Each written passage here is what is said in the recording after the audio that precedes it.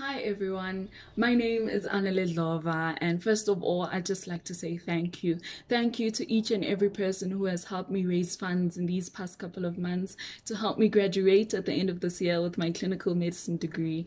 I am completely humbled and overwhelmed by all of your support. Uh, you've shown yourselves to be so kind and so giving uh, that it continually blows my mind. Um, all I've ever wanted to do ever since I was a little girl uh, was to serve my community and to help people who find themselves at their most vulnerable due to illnesses or trauma. And ultimately, I just want to save lives. Studying clinical medicine has taken me one step closer into making this dream come true. And to obtain my degree at the end of this year would mean so much. It would open up job opportunities for me to serve and practice. Uh, it would help make way into studying further into an actual medical degree. And so I would appreciate whatever contributions that anyone has to offer into my campaign.